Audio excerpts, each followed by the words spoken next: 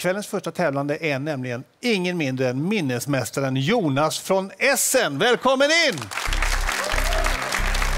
Denna minnesmästare beskriver sig själv som entusiastisk och trevlig. Han eh, föredrar ämnen som matematik och kalanka men undviker frågor om kändisar och tv-program. Vad är du mest stolt över om du ska försöka förklara vad minnesmästare håller på med? Ehm, ja, alltså det som vi ofta håller på med är att memorera eh, stora mängder information, helst så meningslös information som möjligt för att kunna verkligen visa då att vi har memorerat den eh, enbart för detta. Ja. Så att det största jag har gjort är väl när jag memorerar de första 100 000 decimalerna på pi. 100 000. Eh, ja.